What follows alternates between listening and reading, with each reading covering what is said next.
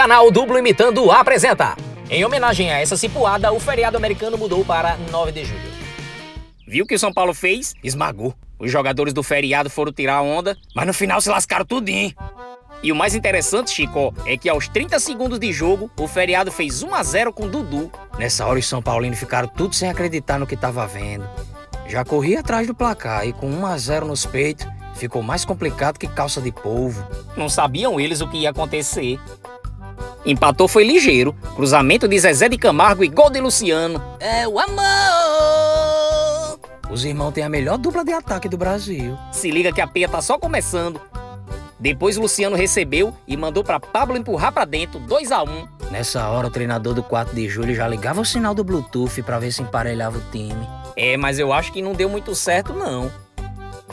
Agora olha esse gol, Chico. Pense numa moleirada segura.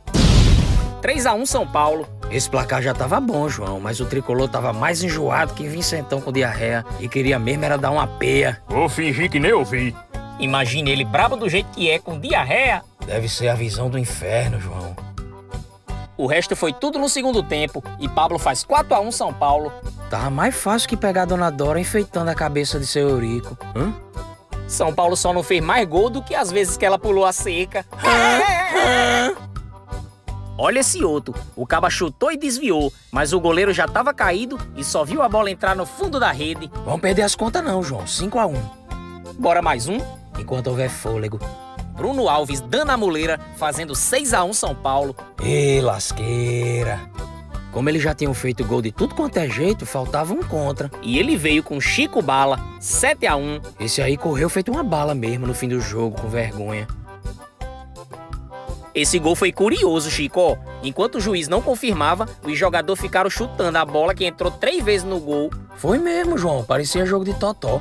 O gol foi feio, mas para quem já tinha metido sete, qualquer gol é bonito.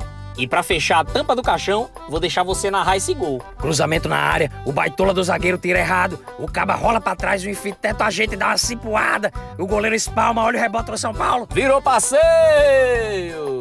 Parecia videogame. É, por isso que eu canto aquela canção. É pau, é peia, é o fim do caminho, são as águas de julho indo pelo ralinho.